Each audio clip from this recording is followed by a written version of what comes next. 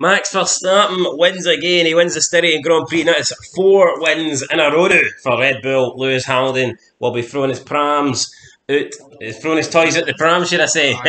but in the first He ten probably can seconds. afford to throw prams at his mansion or whatever. so- Aye, I mean, he can afford to throw whatever he wants. He can fucking throw away million pound notes in at this stage, and it wouldn't make much difference to Lewis Hamilton. But uh, he can't afford to throw away any sort of advantage, tenth wise, that Mercedes may have because the Red Bull are right up there. So, like I said, four wins in a row now for Red Bull, three for Max, one for Perez, and and uh, it's another solid win for Max today. And you've got to favour Red Bull next week as well. I don't think much is going to change. No, it's the same So, track, guys. You know what I mean?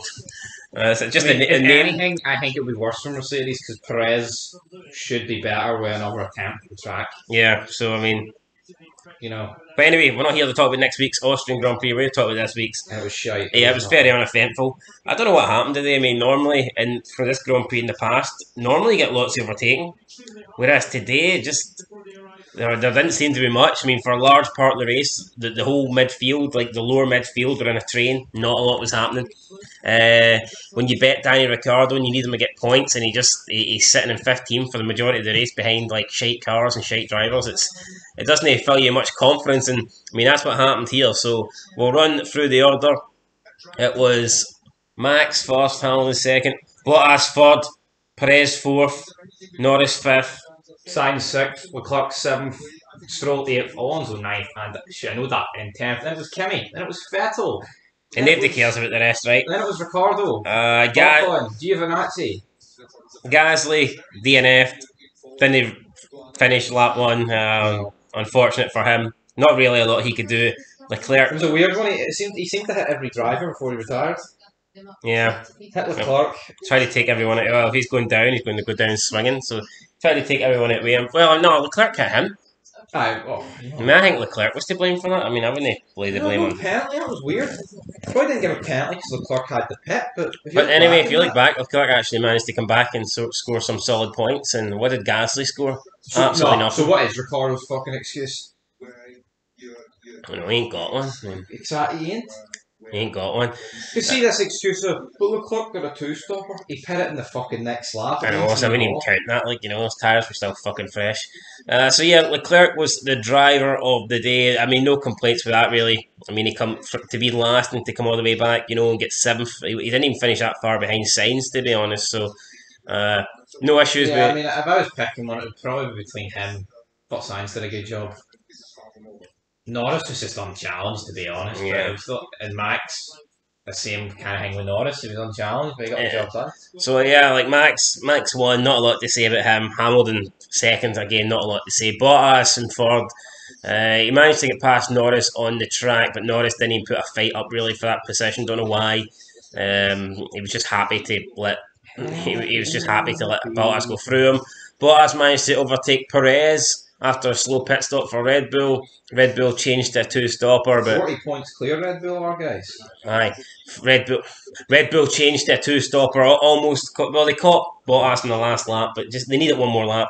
And I hate when shit like that happens. You know what I mean? See, Obviously, if, if, to- we, if we'd bet Bottas to get a podium, we'd have been lovely. But uh, It's good for Red Bull to be in a predicament where they shaft their driver rather than their driver just being pitched nowhere near good enough to actually be shafted by anything aye. other than himself. So yeah, I mean, Red Bull today threw, threw away the double podium due to a slow pit stop, and it's, it's kind of weird because normally they're, they're the kings of the pit stop, but it was today poor pit stop that cost them. So Perez and fourth, I mean Norris, he just unchallenged. He, he kept his third place. He did originally get overtaken by Perez, but then Perez maybe should have just settled for third. He tried to overtake Hamilton. Hamilton kind of boxed him in, and then that allowed Norris to get back on. To, Yeah, it'll, into- it'll definitely look like Perez was going to get Hamilton and he didn't. yeah. So I mean, Hamilton Perez went from looking like he was getting Lewis to uh, end up getting stuck behind Norris. So that didn't go very well for him. Uh, Sainz had a solid race in Ferrari, overtook a bunch of cars. I think arguably driver of the day. I think I think I think driver of the day probably should go to a Ferrari driver. Um, and that's it really. Alonso had a good race, but the Alpine's just not good.